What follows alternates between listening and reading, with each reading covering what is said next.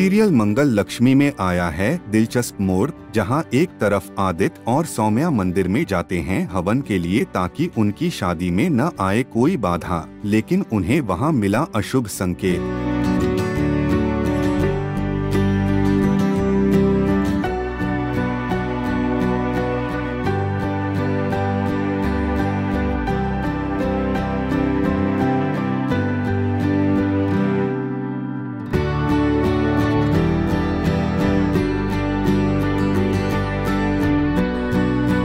लेकिन जैसे तैसे वो वहाँ से भागते हैं ताकि मंगल उन्हें न देख ले। एक्चुअली uh, सौम्या ने ये पूजा रखा है इस मंदिर में बिकॉज़ बहुत सारी प्रॉब्लम्स आ रही है हमारी शादी में।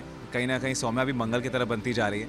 एंड जैसे ही हम पूजा शुरू करते हैं और यज्ञ के लिए तैयार होते हैं आग जल रही होती है तभी एक बंदा आकर वहाँ गिर जाता है और उसके हाथ में जो मटका रहता है वो आग में गिर जाता है और आग बुझ जाता है। एंड पंडित जी कहते हैं कि ये बहुत बड़ा अपशगुन है। कहीं ऐसा तो नहीं कि आपके भाग्य में किसी कोई और औरत है।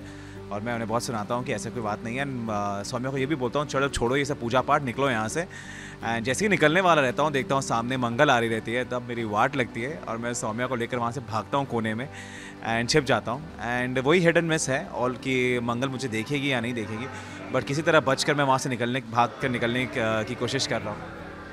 हाँ मतलब ऑफ़ कोर्स सौम्या तो शादी करना चाहती है मुझसे, पर बहुत सारे प्रॉब्लम्स आ रहे हैं हमारी शादी के बीच। तो वो सबको हटाने के लिए, उस दोष को हटाने के लिए उसने ये हवन रखा है। बट यहाँ हाँ माता रानी यही चाहती है कि ये शादी ना हो बिकॉज़ माता रानी का शायद आशीर्वाद मंगल के साथ है। एंड तभी इसलिए पानी गिर जाता है उस हवन में और ये पूजा नहीं हो पाती। अरे अभी तो बहुत मेजर ट्विस्ट आने वाला है और शायद मंगल को पता चल जाएगा स्वामी और आदित्य के बारे में और उसके बाद तो हमारा ड्रामा और हमारा शो शुरू होगा। अभी तो बस शुरुआत है ड्रामा की।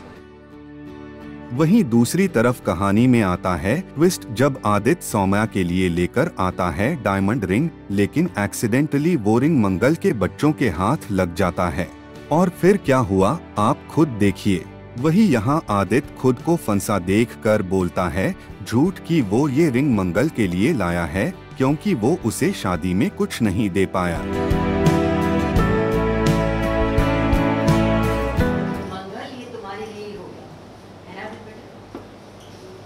बताओ आई पसंद?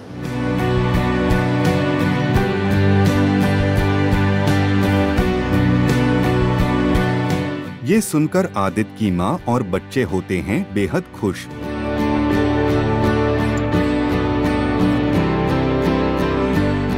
वेल, अब सीरियल में आए इस ट्विस्ट के बाद कहानी में आएगा कौन सा नया मोड़, ये देखना दिलचस्प होगा।